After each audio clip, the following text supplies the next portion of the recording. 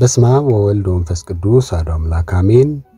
በኢትዮጵያ ኦርቶዶክስ ተዋሕዶ ቤተ ክርስቲያን ጥር ስድስት ቀን ከሚከበሩ በዓላት መካከል አንዱ በዓለ ግዝረት ነው።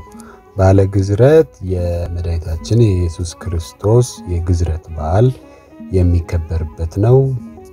ይህንንም በዓል በተመለከተ ከስንክሳር application ላይ ያገኘነውን የሚከተለውን ጽሑፍ እናቀርብላችኋለን። በዓለ ግዝረት ስንክሳር ጥር ስድስት በዓል ማለት በቁሙ ክብር፣ መታሰቢያ እንደማለት ነው። የበዓላት ባለቤት ደግሞ ራሱ እግዚአብሔር ነው። በመጽሐፍተ ኦሪት እንደተቀመጠው ጌታ ምርጦቹን ስለ በዓላት አዟል። ከሰንበት ጀምሮ የፋሲካ፣ የእሸት፣ የዳስ ወዘተ በዓላት በብሉይ ኪዳን ይከበሩ ነበር። በእርግጥ አሕዛብም ለጥፋታቸው በዓላትን ሲያከብሩ ኑረዋል። ዛሬም ቀጥለዋል። በዓላት በአዲስ ኪዳንም ቀጥለዋል።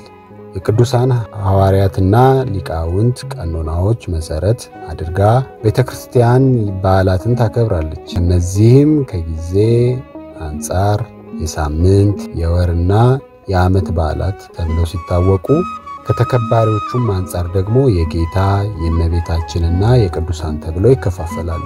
ጌታ በዓላትን አክብሩ ያለን ሥራ እንድንፈታ ሳይሆን ለአምልኮ እንድንተጋና የጽድቅ ተግባራትን እንድንከውን ነው። ለዚህም በበዓላት መልካም ይሠራል እንጂ ተተኝቶ አይዋልም። የጌታችን በዓላቱ 18 ሲሆኑ ዘጠኙ አበይት፣ ዘጠኙ ደግሞ ንዑሳን ተብለው ይታወቃሉ። ሁሉም ለእኛ የድኅነት ሥራ የተፈጸመባቸው ናቸው።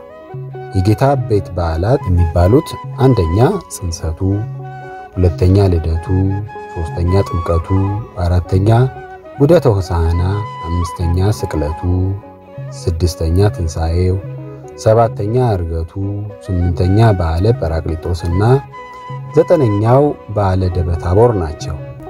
ንዑሳን በዓላት የሚባሉት ደግሞ አንደኛ ስብከት፣ ሁለተኛ ብርሃን፣ ሦስተኛ ኖላዊ ኄር፣ አራተኛ ጌና፣ አምስተኛ ግዝረት ስድስተኛ በዓቱ፣ ሰባተኛ ቃና ዘገሊላ፣ ስምንተኛ ደብረ ዘይትና ዘጠነኛ በዓለ መስቀል ተብለው ይታወቃሉ። ከእነዚህም አንዱ በዓለ ግዝረት ሁሌም በየዓመቱ ጥር ስድስት ቀን ይከበራል። መድኃኒታችን ለእኛ ሲል በተዋሃደው ሥጋ ማርያም ሕግን ሁሉ ፈጽሟል። ራሱ ሠራዬ ሕግ እንደሆነው ሁሉ ፈጻሜ ሕግም ተብሏል። ለአብርሃም ባዘዘው መሠረትም በተወለደ በስምንተኛው ቀኑ ተገዝሯል።